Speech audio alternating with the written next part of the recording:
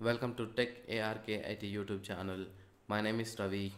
In this video session, we are going to see that uh, if else statement. So in previous session, we see that if statement.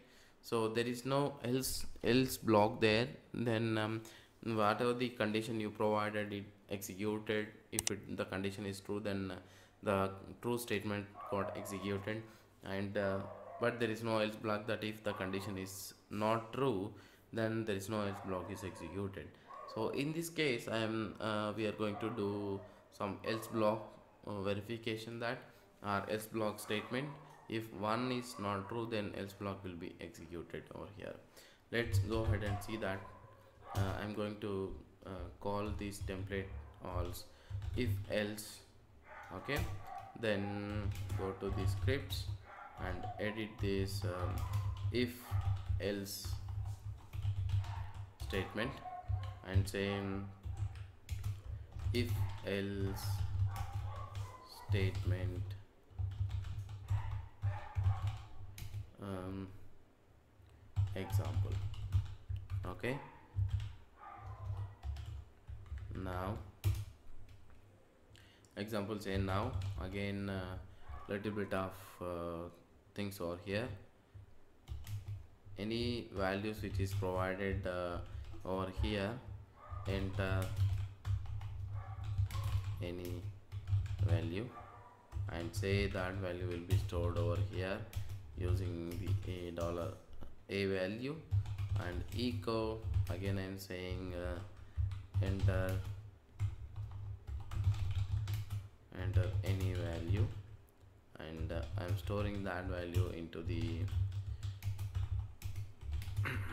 b then if if the statement if statement say that uh, space and dollar a is greater than dollar b okay then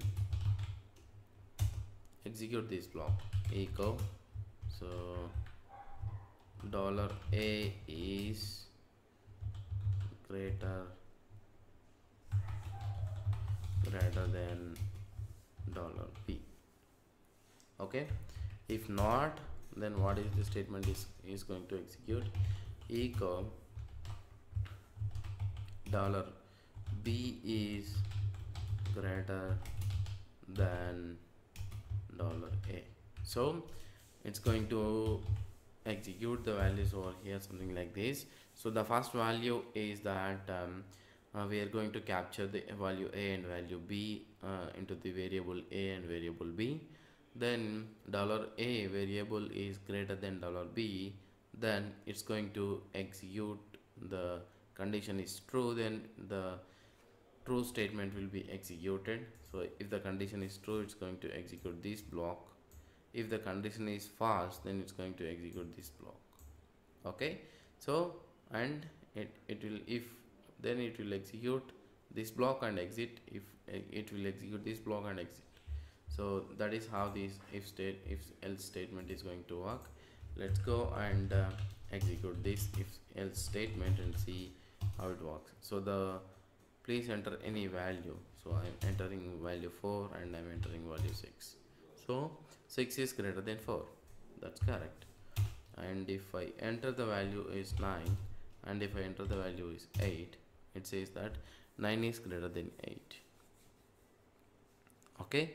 So this is what is going to be executed. Uh, the if else statement is uh, executed successfully. So thanks for watching. Stay tuned. Please subscribe to the channel for more upcoming videos.